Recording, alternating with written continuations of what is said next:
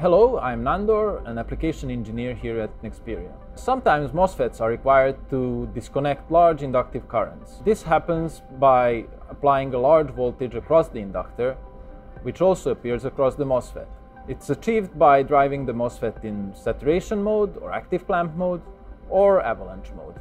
In active clamp mode, a large current is passed through right next to the gate oxide, especially in the pinch-off area. We have large uh, energy carriers that can damage the gate oxide and eventually destroy the MOSFET. In contrast, in avalanche mode, a depletion region is formed across the silicon and the whole silicon is used to conduct the current. This reduces the chances to damage. Nexperia's avalanche-rated application-specific MOSFETs provide tools in their datasheets for accurate lifetime prediction of these devices. Please go to nexperia.com for more details. Thank you.